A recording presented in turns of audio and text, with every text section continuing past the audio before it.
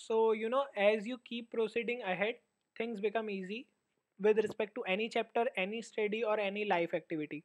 So, right now, I hope you are done with calcium and copper, and now you will see that zinc has become so easy. It's just a five minute video, hardly. Okay, and now you will see all about zinc that you need to remember. Although it is not much of important mineral, but right now it is being given in the COVID treatment, so I thought that uh, you should at least know about it. So let's begin with zinc do not forget to subscribe share hit the bell icon and share to your friends. And also if you want any of the notes qbank you can visit the link in description. So let's begin. Now basically we need to know all about zinc only this much. So this is a chart hai and let's you know dissect it. So basically for any mineral i have already told you first of all you need to know about the source. So our favorite food item has zinc in it that is cheese. So cheese has zinc in it. Apart from that grain seed beans nuts these are, are called of generalized sources so you can remember that no not much of an issue. Now zinc for absorption. So in absorption i have already told you about calcium. Now in zinc absorption what is the basic point that you need to know is that there is copper and then there is zinc. Now they both are competitive you know and uh, competitively competing for that absorption place. So now if zinc is in higher quantity copper absorption will reduce and this will help this in therapeutic you know role in Wilson's disease. So I hope now you know what is Wilson's disease and how copper was increasing there. So you surely need to give zinc for the treatment. Okay. So this is all you need to know regarding the absorption for zinc and copper. Now enzymatic activation. Now I have already told you that any mineral you need to associate it with some enzymes. Okay. And now zinc has ample number of enzymes. More than 300 enzymes are you know activated by zinc. So out of that, what you need to remember is carboxypeptidase and carbonic anhydrase.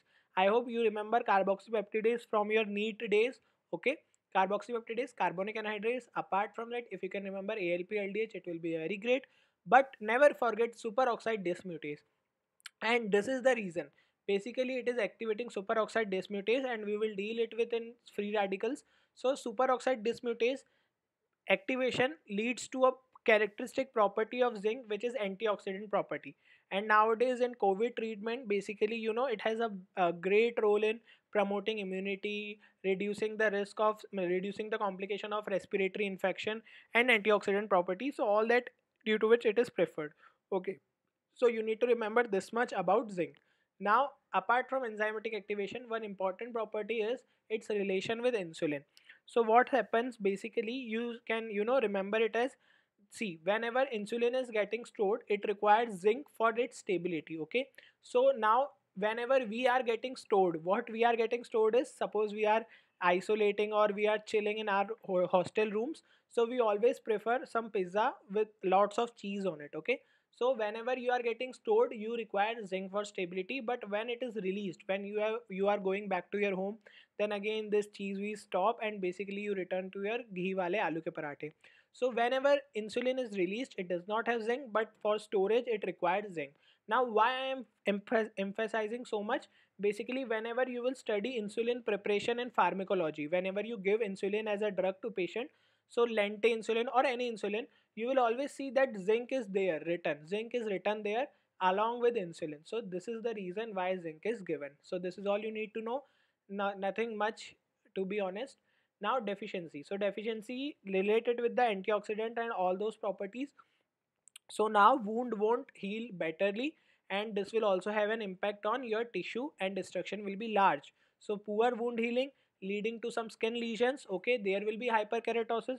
There can be dermatitis. There can be alopecia. So all are the skin disorders dermatological problems as well as you need to remember impaired spermatogenesis so this is all you need to know regarding zinc derma and spermatogenesis.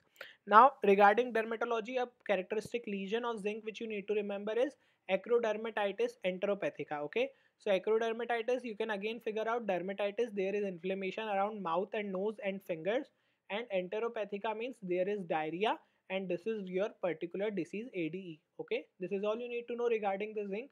Now in the requirement, there is not much I can think of a mnemonic. Just remember adults 10 milligram, pregnancy double it 20 milligram. So this is all you need to know about zinc, very less actually. Okay, some sources, some enzymes and then characteristic one deficiency lesion and you are done with this.